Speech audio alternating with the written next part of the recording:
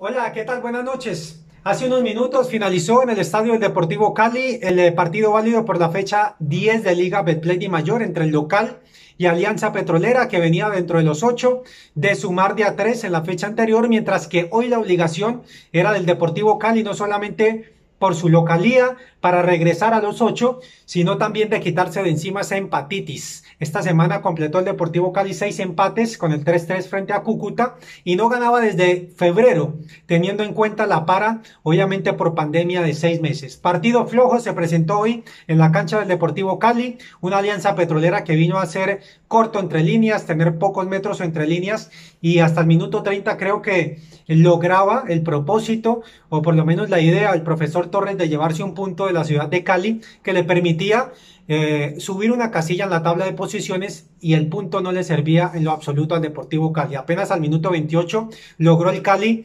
construir una jugada que le llegara limpia a Ángelo Rodríguez eh, que a propósito no está en buen momento y hay que buscar la forma, profesor Arias, de acobijarlo y que el goleador vuelva a tener confianza. Hoy termina en punta John Vázquez, que termina siendo la figura del compromiso. En el minuto 35 se presenta la jugada hasta ese momento más clara del partido, en los pies de Deiber, pivoteo de Ángelo, centro de John Vázquez, pero un minuto después el mismo Deiber ve la tarjeta roja justa por un codazo en el rostro de Flores, el volante central de Alianza Petrolera.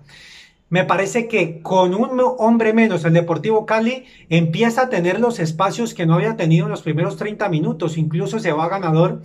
al término del primer tiempo en una pelota quieta. De cabeza marca John Vázquez y me parece que eso le permite al cuerpo técnico del profe Arias, que hoy no estuvo en la línea por sanción, estuvo Italo Servino, eh, replantear y tener una idea diferente en los segundos 45 minutos. Alianza Petrolera con la necesidad de llegar al empate y de tener un hombre menos, tuvo 60 minutos un hombre de más Alianza Petrolera, no pudo hacerle daño a Deportivo Cali que hoy mejoró defensivamente, hay que decirlo, Mendoza y Richard Rentería se comportaron bien y Deportivo Cali terminó bajando el telón del compromiso con los cambios que entraron bien, Andrés Balanta marcó el segundo a pase de John Vázquez por derecha y va a ganar en confianza Andrés Balanta porque había perdido la titularidad con Juan Daniel Roa. Tres puntos vitales hoy del Deportivo Cali del profe Arias que le permiten volver a, a, los ocho, quitarle la posición al rival que le acaban de ganar, es quinto, y la próxima fecha el Deportivo Cali estará jugando frente a Jaguares